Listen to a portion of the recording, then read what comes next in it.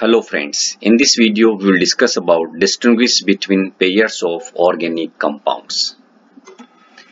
There are certain tests in organic chemistry which are given by the specific compounds. First of all, we will discuss these tests.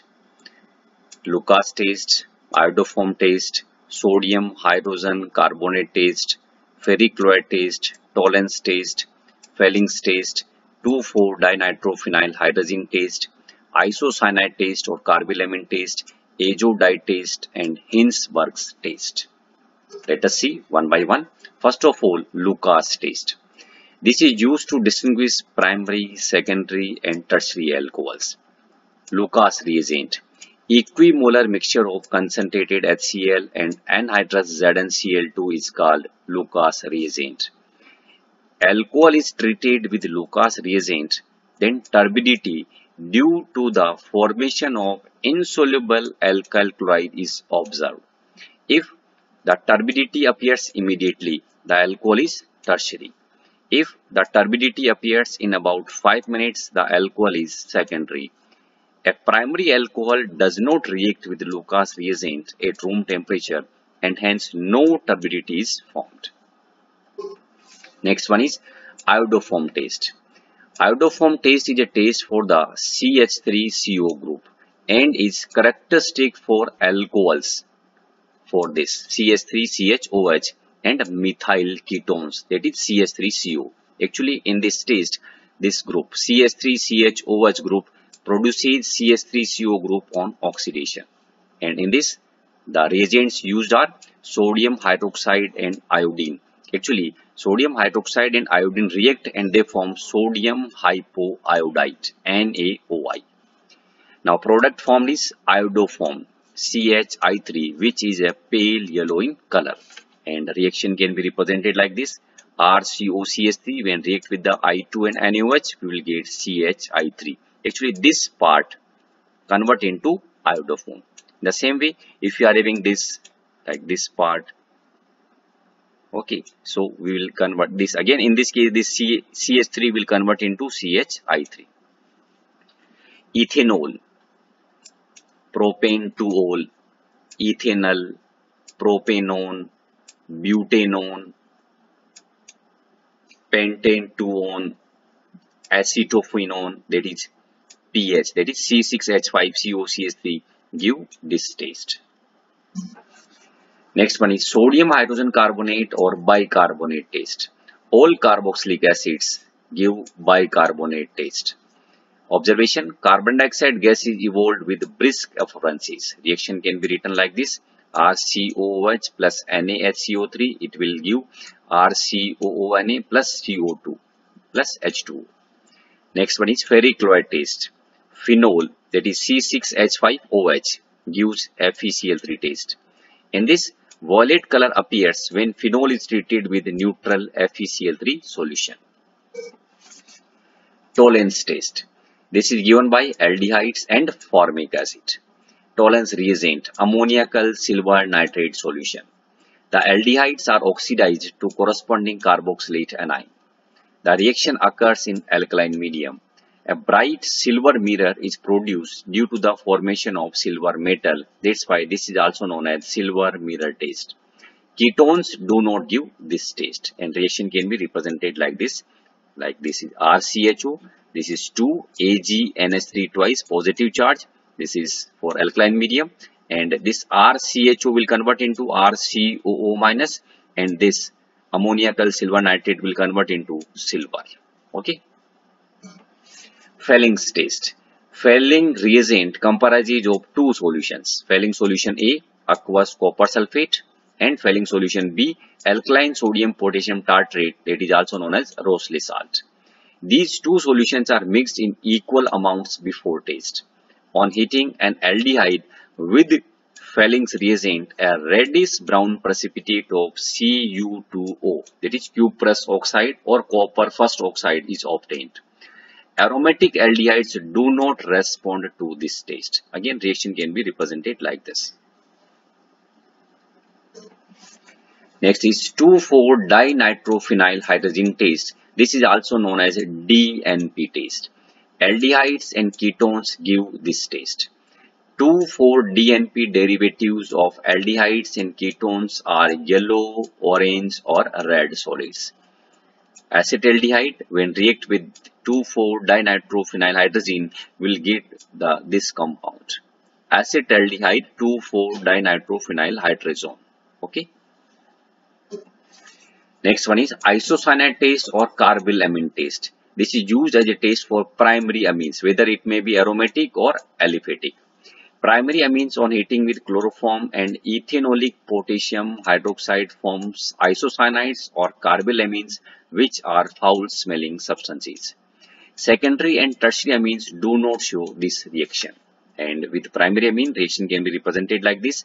RNH2 plus CHCl3 chloroform plus 3 KOH when heated will get this isocyanide. Next one is azo dye test. It involves the reaction of any aromatic primary amine with nitrous acid followed by treatment with an alkaline solution of 2-naphthol. This is also known as beta-naphthol when a brilliant yellow, orange or red colored dye is obtained. This is used to distinguish between aliphatic primary amine and aromatic primary amine. Actually, aromatic primary amine give azo dye taste while aliphatic primary amines do not give. Hinsberg's test. This is used for distinguishing primary, secondary and tertiary amines. Hinsberg's reagent is benzene sulfonyl chloride C6H5SO2Cl. In this test, amine is shaken with Hinsberg's reagent in presence of excess of aqueous KOH solution. A primary amine gives a clear solution which on acidification gives an insoluble N-alkyl benzene sulfonamide. A secondary amine gives an insoluble N-N dialkyl benzene sulfonamide which remains unaffected on addition of acid. A tertiary amine does not react at all. Therefore, it remains insoluble in the alkaline solution but dissolves on acidification to give a clear solution. Now we will discuss some important questions. Name the chemical test used to distinguish between phenol and ethanoic acid. Answer is FeCl3 test. It is given by phenol but not by ethanoic acid. We can also use sodium bicarbonate test. This is given by ethanoic acid but not by phenol. Next is which chemical is used to distinguish between phenol and benzyl alcohol? Options are NaHCO3, FeCl3, iodoform test, none of these. Answer is FeCl3. Actually, phenol gives violet color with FeCl3, while benzyl alcohol does not. Next, phenol and benzoic acid. Benzoic acid reacts with NaHCO3 giving CO2 gas with effervescence whereas phenol does not. Okay, you can also use FeCl3 test. Phenol gives violet color with FeCl3 while benzoic acid does not. Next pair is benzaldehyde and acetophenone. Acetophenone, acetophenone is CH3COC6H5. Okay, actually in this acetophenone we are having this group methyl ketone CH3CO. So this acetophenone will give iodoform taste while benzophenone does not okay. Next distinguish between acetone and acetaldehyde. Acetaldehyde gives Tollens taste and Fehling's taste while acetone does not. And these are the reactions. This is for Tollens taste and this is for Fehling's taste. Next pair is benzaldehyde and benzophenone. Benzaldehyde gives Tollens taste while benzophenone does not Next, give chemical test to distinguish between acetaldehyde and benzaldehyde. Acetaldehyde gives iodoform taste, while benzaldehyde does not. Or we can also use acetaldehyde gives Fehling's taste, while benzaldehyde does not. Next pair is propanone and propanol. Propanone gives iodoform taste, while propanol does not. Or we can also use Propanol gives Tollens test and Fehling's test while propanone does not. Next is butanone and butanol. butanone. Actually, butanone is CH3COCH2CH3. Again, this is the methyl ketone. So, it will give iodoform taste while butanol does not. Or we can also use the some specific taste for aldehyde and ketone. In this case, butanol gives Tollens test and Fehling test while butanone does not. Next pair is ethanol and ethanoic acid. Ethanol, which is aldehyde, gives Tollens taste and Fehling taste while ethanoic acid does not. And ethanoic acid is a carboxylic acid. So we can also use ethanoic acid use effervescence of carbon dioxide with sodium bicarbonate while ethanol does not. We can also use ethanol gives iodoform taste while ethanoic acid does not. Next give a chemical taste to distinguish between C6H5NH2 and CH3NH2 actually both are primary amines but this is aromatic amine and this is aliphatic amine so we can use azo taste this C6H5NH2 will give azo dye taste while CH3NH2 does not. Okay. And this azo dye taste is also used to distinguish between aniline and ethylamine. Again, this aniline will give azo dye taste while this ethylamine will not give. What happen in azo dye taste? Aniline react with the NaNO2 and HCl. It will convert into benzene diazonium chloride and when this will react with the alkaline 2-naphthol or alkaline beta-naphthol, we will get the orange red dye. Next one is ethanamine and N-ethyl ethanamine or methanamine and N-methyl methanamine Now just see this is primary amine and this is secondary amine. The same way this methanamine is a primary amine and this N-methyl methanamine is a secondary amine. Okay, so we can use carbylamine test. This ethanamine and methanamine both will give carbylamine test while these secondary amines will not give.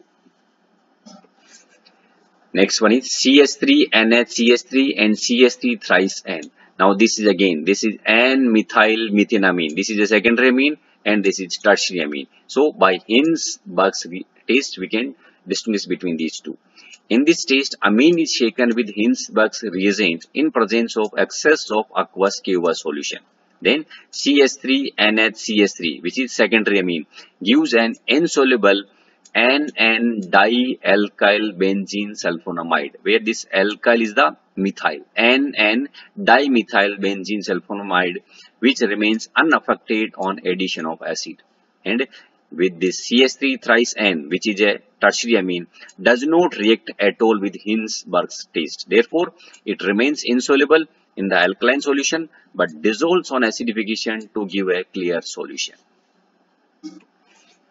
Give one chemical test to distinguish between the following pairs of compounds, methylamine and dimethylamine. Okay, this methylamine is a primary amine and dimethylamine secondary amine. So we can use carbylamine reaction. Methylamine will give this carbylamine reaction while dimethylamine does not.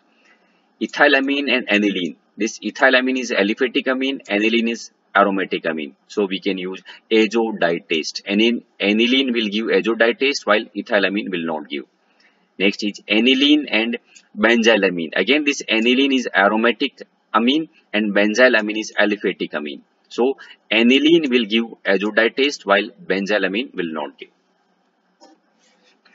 Now next, give a chemical test to distinguish between methanoic acid and ethanoic acid. Both are carboxylic acid. Okay. Methanoic acid gives Tollens taste, but ethanoic acid does not. Next pair is ethanol and propane 2-ol. Ethanol is primary alcohol and propane 2-ol is secondary alcohol. So by Lucas test we can distinguish between these two. Ethanol when react with the Lucas reagent no turbidity will appear at room temperature while eh, at room temperature while propane 2-ol when react with the Lucas reagent turbidity will appear in 5 minutes. Next, give a chemical test to distinguish between chlorobenzene C6H5Cl and benzyl chloride C6H5CH2Cl. Actually, this chlorobenzene is a aromatic chloride. Okay, and this is aliphatic. Benzyl chloride is allowed to react with aqueous NaOH. This is a nucleophilic substitution reaction will taking place. Okay.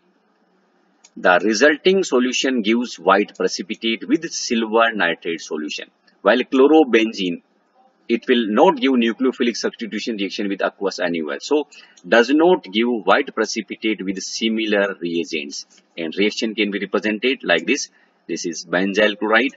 When react with NaOH in aqueous medium, the Cl is replaced by OH and we will get this along with the NaCl. And this NaCl is ionic compound. So, when this mixture is treated with the silver nitrate solution, we will get the white precipitate of AgCl.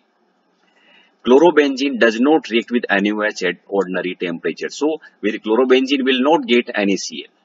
Okay, so we will not get the precipitate of AgCl when treated with the AgNO3. Okay, thank you.